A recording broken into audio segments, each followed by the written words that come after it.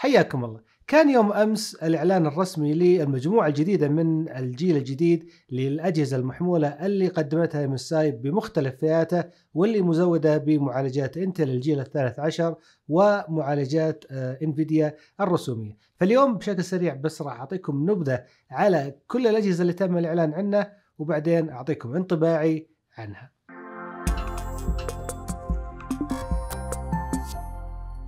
أول فئة من الأجهزة المحمولة اللي تم الاعلان عنها هي فئة Stealth 16 و14 استوديو نبدأ أول شيء ب Stealth 16 أول حاجة الجهاز حصل على جائزة الإبداع في معرض ال CES 23 ومن ناحية التصميم فتم تجديده بالكامل بحيث إنه أصبح الآن عندنا هيكل جديد مصنوع بالكامل من معدن المغنيسيوم alloy اللي راح يكون شبيه بالالومنيوم على كافة الهيكل الخاص بالجهاز.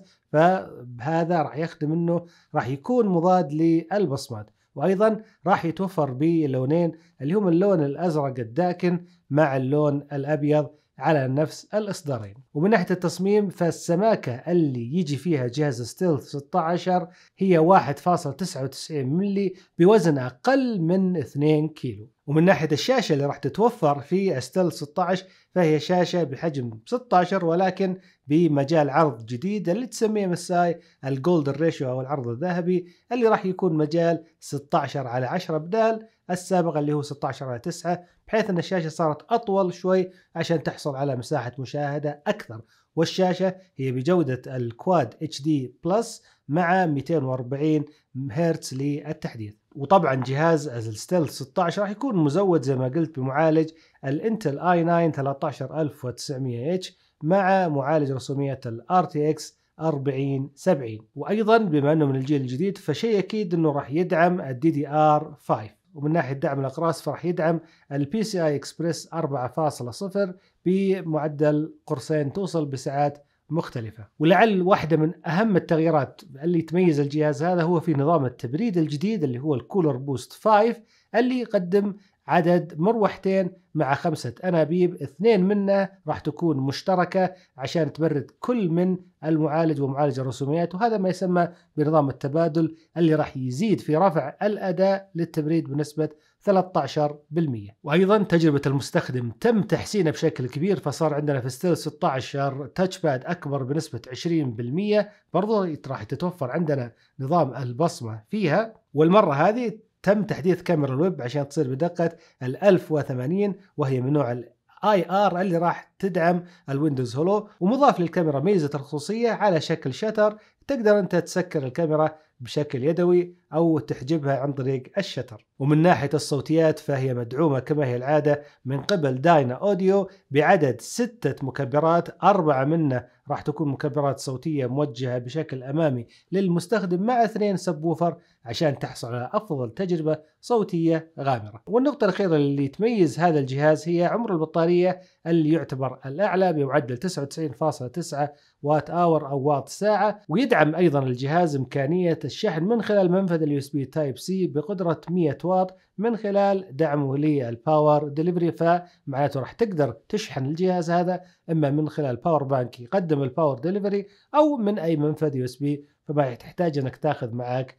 الشاحن. ومن ناحية خاصية الاتصال فهو يدعم الآن الواي فاي 6 اي مع Thunderbolt 4 أما الأخ الأصغر اللي هو Stealth 14 استوديو راح يكون مصنوع أيضا بنفس الخامات اللي موجودة في الهيكل مع الشاشة أيضا تم تكبيرها عشان تصير بال ratio اللي هو 16 على 10 مع توفير شاشة Quad HD Plus بتردد 165 هرتز. ومن ناحية الوزن فهو أقل من 1.7 كيلو بمعدل سماكة 19 ملي متر وأيضا في الجهاز هذا يتميز نظام التبريد إنه عبارة عن حجرة vapor chamber أو حجرة غازية تغطي تقريبا نصف الجهاز أو تغطي ال motherboard بالكامل فتقدم لك أفضل أداء علشان تعطيك أقوى أداء للمعالج اللي موجود في هذا الجهاز. والحديث عن المعالج فهو معالج الاي 7 13700 إتش مزود بمعالج رسوميات ال RTX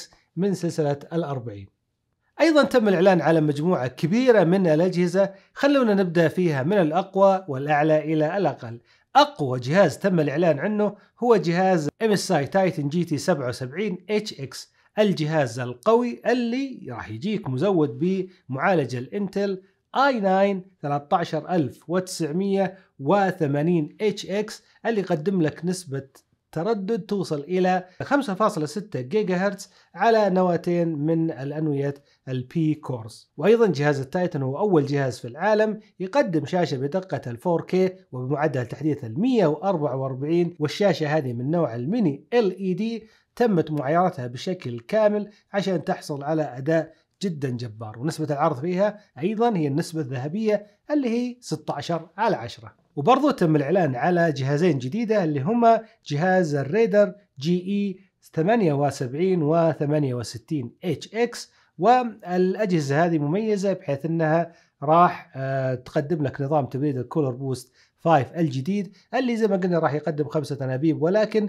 بالإضافة لنظام التبريد في الجهاز هذا في pipe أو أنبوب واحد راح يكون مخصص لتبريد ال VRMs اللي موجودة في الجهاز عشان تحصل على أفضل أداء في هذا النظام.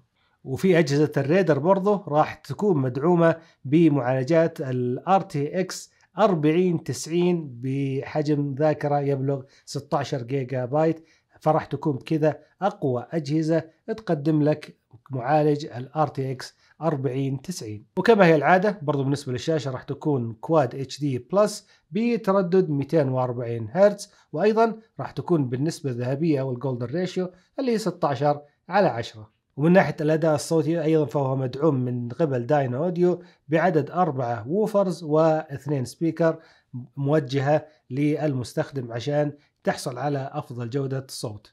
والشيء البطل كمان في سلسلة أجهزة ال Raider الجديدة إنها راح تدعم ال PCI Express 5.0 بالنسبة لأقراص ال M.2 وتقدر تركب اثنين عشان تحصل على سرعات قراءة وكتابة مجنونة فيها. وما تنتهي المواصفات هنا فراح يكون في سلسلة خاصة أو إصدار معين راح يقدم لك touchpad مساحتها كبيرة جدا ويتوفر فيها إمكانية إنك أنت تشغل عليها أزرار تحكم سريعة زي ما إحنا شايفين. تقدر توصلها نفس فكرة آه، قطعة ال Elgato اللي تكون خارجية. هاي المرة راح تكون built-in ومدمجة في منطقة ال touchpad ولما تطفيها راح تحصل على touchpad كبيرة تقدر أنت تتحكم فيها أو تسوي أي شيء تبغاه.